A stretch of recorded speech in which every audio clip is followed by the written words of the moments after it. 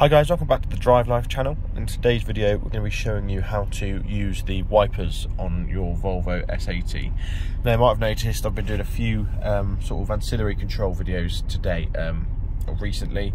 Um, it's just because I think it's useful to get to know these things um, and I'll spread them out through the other content that we've got.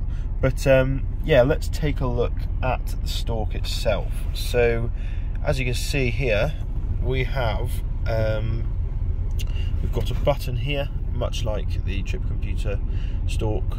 We then have a diagram here, a wheel here, and then a fake button. This button doesn't actually do anything um, on this car, and then you've just got tells you what the stalk is. Um, so what we'll do is we'll talk you through the different wiper modes um, and give you a demonstration of each one, and then uh, yeah, just show you guys, explain how it all works. So this first button here is perhaps the most button, most useful button on the whole thing. If you press this button once, you don't need to touch the thing, the rest of the, the stalk at all. So this is our wiper mode, um, sorry, our automatic wipe sensor.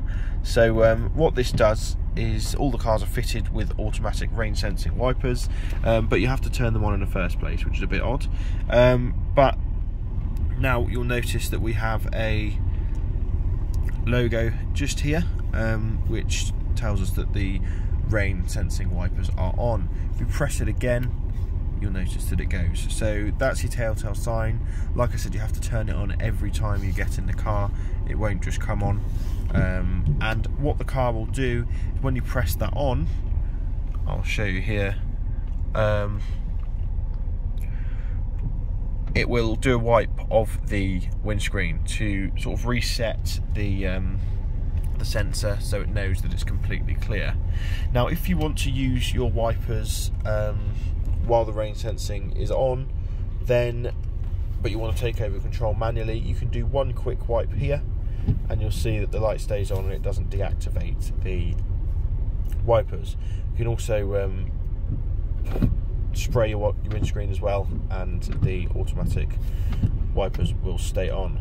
Now if you take control and put it on intermediate, you'll see that the light has now gone off and that means it's deactivated the automatic sensor, um, but what it will do and give you full manual control. Um, so this is the first intermediate speed. As you can see here, it's um, fairly slow. If we go down another one, it should get faster, like so. And then we go down one more, it goes really fast.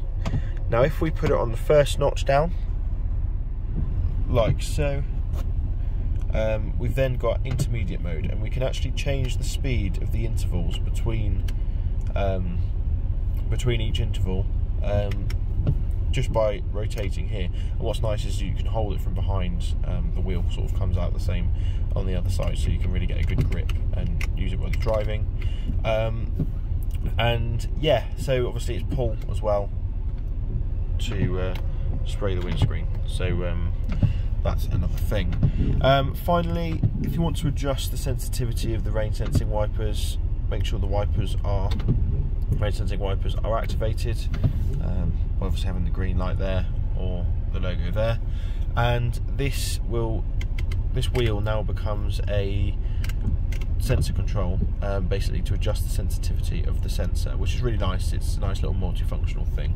So um, yeah that is it guys. Um, thanks for watching. Don't forget to like comment and subscribe. Let me know if you've learned anything from this video. Um, it's funny when you watch videos like this you do learn something even though you've owned the, car for um, years. Um, so uh, yeah thanks for watching.